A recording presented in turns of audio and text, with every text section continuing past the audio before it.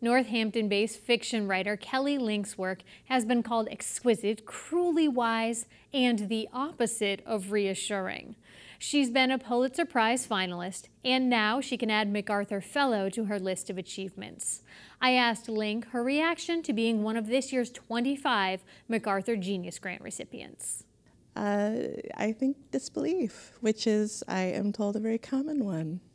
Yeah people uh, when you receive uh, I, not that i have ever had the honor so i can't speak personally but i imagine it's such a big it's such a big award um, how did you learn of the the, the, the it would be named a grant winner um, they call you and I think that has become more of an issue in the last couple of years because no most of us most of us don't answer our phones if you don't know the number. But it was a call coming from Chicago, and I have very fond associations with Chicago. So I thought, well, maybe this is an old friend, and answered, and um, they told me the news.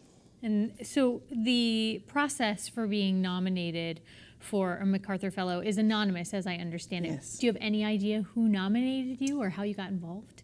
No, I think the entire process is um, mysterious, and I totally understand why they would keep it that way, but it also means that when it happens to you, it has the feeling of a fairy godmother visit or something. It doesn't feel quite real. Um, so, no, I know nothing about how the process works. Is it interesting or ironic for an author, author of magical realism to have this sort of mysticism and unknown element to such a big uh, no, uh, nomination for yourself?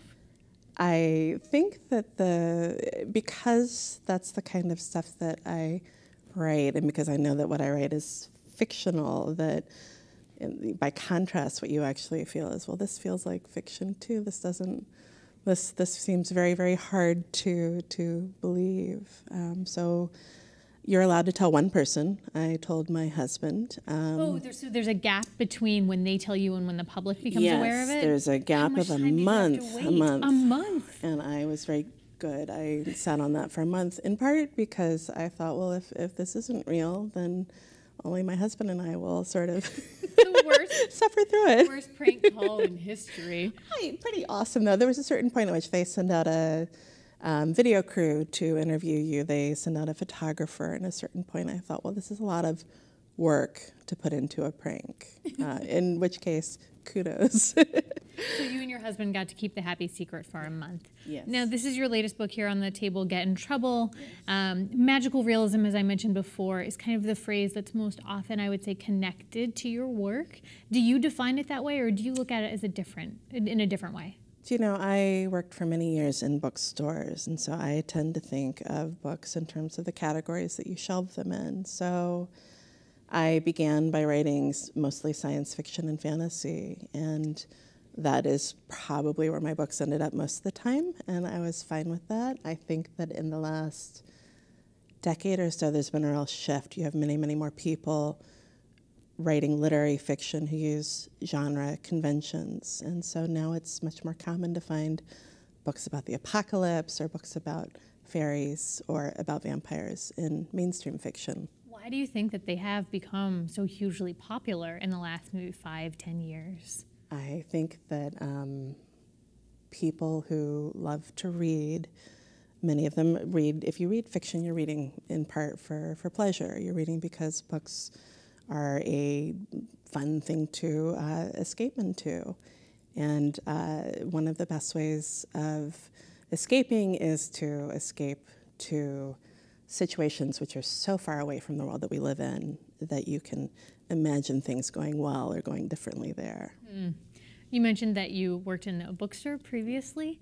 Did you one day come across this genre and think to yourself, oh, maybe I could give it a try, or how did you come to be an author of, of this genre? I this was just always the kind of books and short stories that I love to read, and so when I began writing, I began writing the kinds of stories that I had read as a kid that I loved. Hmm. So NPR, in an interview that you did with them, talking about Get in Trouble when it was first released. Um, the latest short stories in that book are described as nighttime logic. Nighttime logic. Yeah. yeah. How how what does that mean?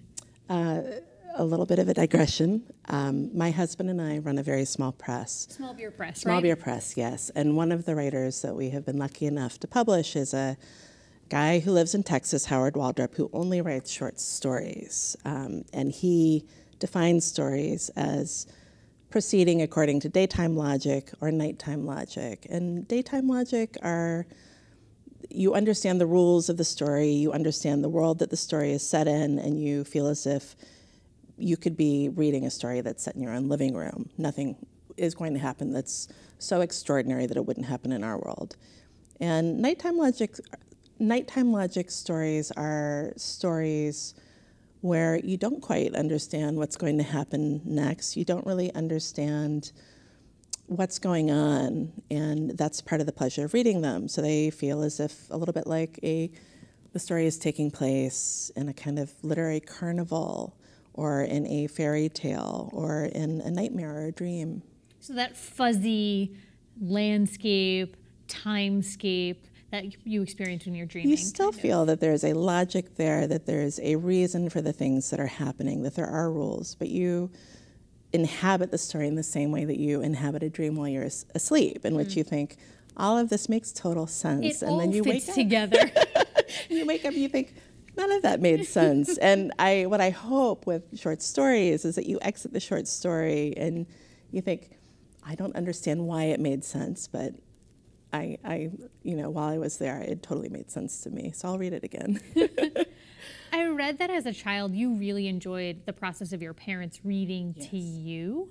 And I noticed on your website that you actually read a few stories or make it available for people to click so that you oh, read the stories to them. Is that why you chose to do that? I think so. A bunch of the books that we publish, including one of my collections, is available as a free download online. And there are many, many links to stories that are either up on websites or that are um, or that are or that are different readers uh, perform. And I think part of that is because um, you know I didn't just work in bookstores. I'm also an enormous fan of libraries and the idea that stories are accessible to people not just um, you know if you buy them, but also you might want to try something and see if you actually like it. So the idea of having books up for free feels like a feels like a good idea. Mm. So it, over the course of your career, you've worked with big publishing houses, yeah. big publishers, but as you mentioned, you and your husband run a small press, small yeah. beer press. Were there things that you learned in the big publishing world that you thought, you know what, we could do things a little differently at this scale?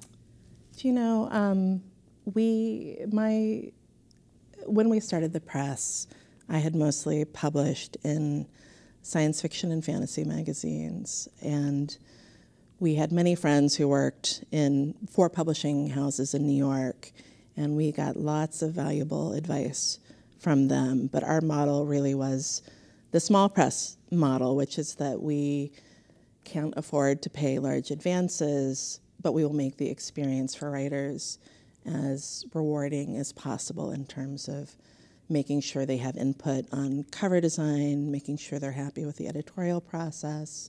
Um, and I think the real advantage of the small press over working in a larger publishing house is you do get to be involved in every single step. I get to work on the covers of books that we publish. We get to work very closely with the writers that we publish. Um, and we really, really love the books that we publish. We're not doing this because it's lucrative, although we, we do um, make enough money to keep the press going. But we do it because we love the books and we want other people to find them.